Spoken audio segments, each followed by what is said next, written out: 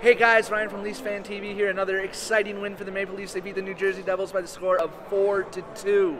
Uh, we have William Nylander with a goal and an assist. That's a 10 game point streak. That's 10 games he's gotten a point. That's a new Leaf rookie record.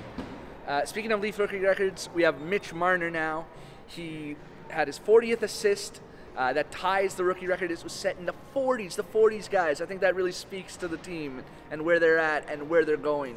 Uh, breaking records that are over half a century old, and then it's not just they're not breaking one or two, they're blowing them all out of the water, which is something amazing to see. You know, we all want to make the playoffs, but I think this really gives the fan base hope for the future. You know, we're, we're going into Buffalo next. That's always a tough building to play in, and it's a tougher building to play in if you're a Leafs fan.